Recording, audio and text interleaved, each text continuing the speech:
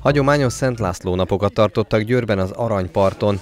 A 11. századi körülményeket felidéző programokban a hagyományőrző egyesületek kaptak óriási szerepet, hogy bemutassák, hogy is éltek nagyjából ezer évvel ezelőtt őseink. A legidősebb és a legfiatalabb generáció, aki nagyon-nagyon fogékony mindenre, valahol 12 éves kor környékén a gyerekeknél egy kicsit kiveszik az a, az a, az a mese iránti, az a varázslat iránti dolog, hogy úgy szoktuk megfogalmazni, hogy az furcsa ebbe a dologba, hogy a régi világnak a varázslata azok, akik a legkonkrétabb és a legkézzelfoghatóbb realitásokban vannak, csak el kell őket tolni ezer évvel, vagy akár száz évvel ezelőttre.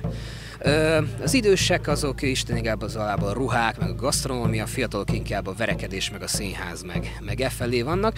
Az életmód mellett sok természetes alapanyagból készült játékot is megmutattak a legfiatalabbaknak, így bárki megismerkedhetett korabeli társasjátékkal, vagy lovagi játékokkal is. Mindenki ki tudta választani a hétvégén a kedvenc programját. a lovas bemutató ahol a kislánynak a hátáról, kezéről ment fel a ló hátára a kutya,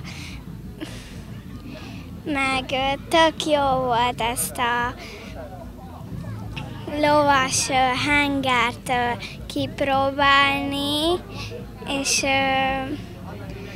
tök jó itt játszani. A gyerekek és a felnőttek pedig együtt szórakozhattak a komolyabb előadásokon is. Így például Hamza Viktóriával és a szabadon idomítás művészetével is testközelből megismerkedhettek.